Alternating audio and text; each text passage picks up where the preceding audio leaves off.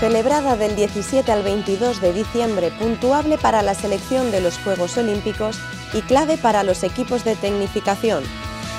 Hablamos de la Palamos Christmas Race, que con esta edición se cumplen 41 años ininterrumpidos de competición. 23 han sido los países que se han visto representados en esta internacional y decisiva regata con participantes repartidos entre las 12 clases presentes.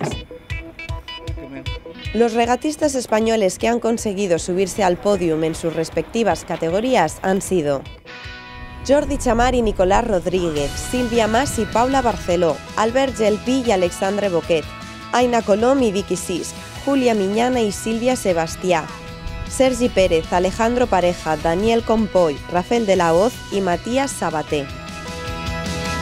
Próximamente el reportaje completo con todos los detalles y datos de esta icónica regata Palamos Christmas Race 2016.